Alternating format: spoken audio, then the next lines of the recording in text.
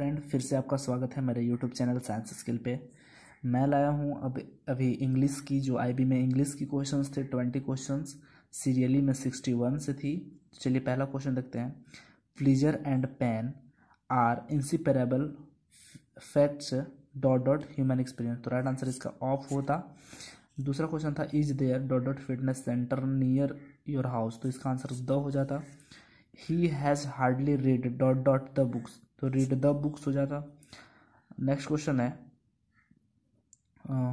Dot dot of pain is real and affects one body mind and spirit तो इसका answer हो जाता है एक्सपीरियंस नेक्स्ट है he drop with dot dot care and hence was find by traffic police तो little इसका answer हो जाएगा little dot dot cultural diversity attracts tourists from all over the world तो इसका हो जाएगा इंडियाज नेक्स्ट है I have been dot dot the doctor whose named figured in the Times of India तो इसका आंसर हो जाएगा द नेक्स्ट क्वेश्चन चलते हैं इंग्लिश के नेक्स्ट क्वेश्चन में।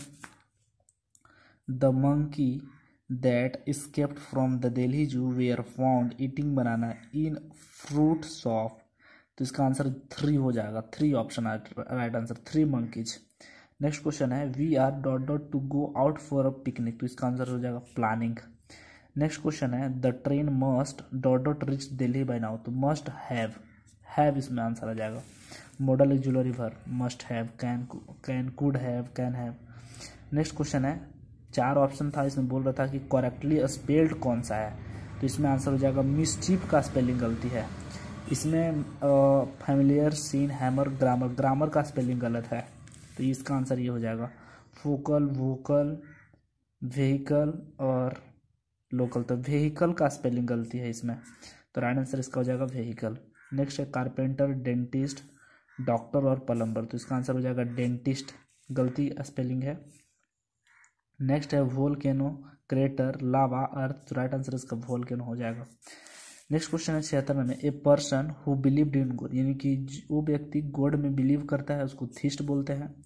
A story of and individually by himself उसको बोलते हैं autobiography a book or paper written by written in hand उसको बोलते हैं मैनोस्क्रिप्ट नेक्स्ट है ए नंबर ऑफ़ सीप्स उसको बोलते हैं फ्लेट ए यंग काऊ, यानी कि गाय के बछड़ा, गाय के बच्चा को बछड़ा, काल्फ बोलते हैं, काल्फ। तो इस तरह से हुआ ट्वेंटी क्वेश्चंस, जो इंग्लिश के ट्वेंटी क्वेश्चंस थे। आपने देखा, आईबी के पेपर को आपको पता चल गए होंगे, कितनी इसमें क्वालिटी थी इस पेपर के क्वेश्चंस में। तो आप देख लीजिए, क्वेश्चंस कितने ईजी थे। और अगर आप एग्ज़ाम छोड़ दिए होंगे तो आइंदा से एग्ज़ाम नहीं छोड़िए, क्योंकि बहुत लो लेवल के क्वेश्चंस थे। आपको एग्ज़ाम देनी चाहिए थी, और जो लोग फॉर्म ही नहीं बोले तो तो अलग ही है। खैर thanks thank you very much